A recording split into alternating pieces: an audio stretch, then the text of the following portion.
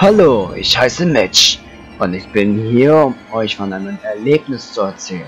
Ich weiß nicht, ob es paranormal ist oder was für bescheuerte Wörter die meisten Leute auch immer benutzen, um übernatürliche Phänomene zu beschreiben.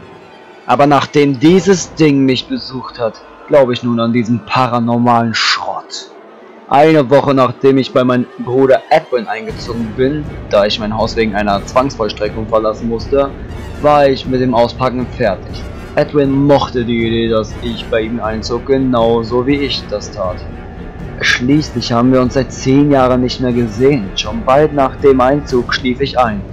Nach dieser einen Woche hörte ich gegen 1 Uhr früh ein Rascheln von draußen.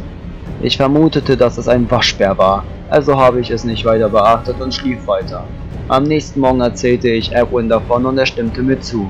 In der nächsten Nacht jedoch hörte ich, wie mein Fenster geöffnet wurde, gefolgt von einem lauten Knall, als ob etwas mein Zimmer betrat. Ich sprang auf und sah mich in mein Zimmer um, aber nichts war zu sehen. Am nächsten Morgen ließ Edwin seine Kaffeetasse fallen, als er mich sah. Er hielt mir einen daliegenden Spiegel hin und ich sah mich an. Ich hatte einen großen Einschnitt in meiner linken Wange. Nachdem wir ins Krankenhaus eilten, sagte mir mein Doktor, dass ich vermutlich schlafwandeln würde, doch dann zeigte er mir etwas, das mir einen kalten Schauer über den Rücken laufen ließ. Er hob mein T-Shirt hoch, um mir einen genähten Schnitt an der Stelle, wo meine Nieren sind, zu zeigen. Ich starrte in seine Augen. Meine Augen wurden dabei immer größer. Du hast irgendwie deine linke Niere in der vergangenen Nacht verloren. Wir wissen wirklich nicht, wie das passieren konnte. Tut mir leid für dich, Mitch, sagte mein Bruder.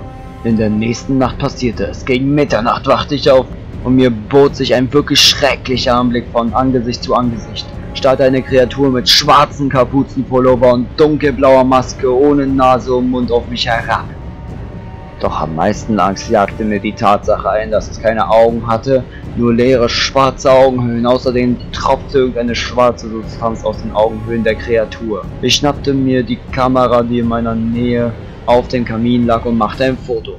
Darauf sprang mich die Kreatur an und versuchte meinen Brustkorb aufzureißen, um an meine Lungen zu gelangen. Ich hielt es davon ab, indem ich der Kreatur ins Gesicht trat.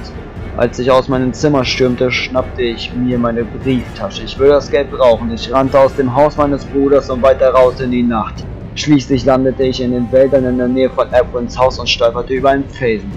Ich verlor mein Bewusstsein und wachte im Krankenhaus auf. Mein Arzt betrat den Raum. Es war derselbe wie beim letzten Mal.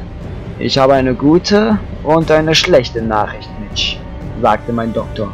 Die gute Nachricht ist, dass du nur leichte Verletzungen hast und deine Eltern dich abholen werden. Ich seufzte vor Erleichterung. Die schlechte Nachricht ist, dass dein Bruder von irgendetwas getötet wurde. Mein herzliches Beileid. Meine Eltern brachten mich zurück zu Edwins Haus, damit ich meine restlichen Sachen holen konnte. Was ich auch tat. Beim Betreten meines Zimmers hatte ich Angst. Doch ich blieb ruhig. Ich nahm meine Kamera und blieb plötzlich wie angewurzelt stehen. Im Flur, der zu meinem Zimmer führt, konnte ich Edwins Körper und etwas Kleines daneben liegen sehen. Ich nahm das kleine Ding mit und stieg wieder in das Auto meiner Eltern, ohne Edwins Leiche zu erwähnen. Ich sah mir das Ding an, das ich mitgenommen habe und kotzte beinahe. Ich hielt meine gestohlene, angebissene Niere auf, der etwas schwarze, klebrige Substanz war in meiner Hand. Und das war die Geschichte von Eyeless Jack. Vielen Dank fürs Zuhören und bis zum nächsten Mal. Ciao.